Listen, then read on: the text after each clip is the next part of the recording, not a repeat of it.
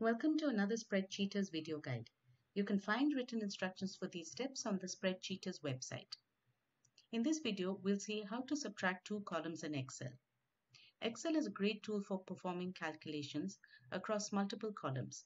When creating a calculated column, you may find the need to subtract two columns in Excel. So let's see how to do this. In this example, I have a table where I have sales price and costs, and I want the profit. For this, I need to subtract the costs from the sale price. So to do that, I'll type the equal sign, select the sales price uh, column, cell, say minus, and then select the costs and say enter. So this has subtracted two columns. I just now can drag the fill handle down to the rest of the column so that the formula is copied. And now I have these two columns subtracted. This is how to subtract two columns in Excel.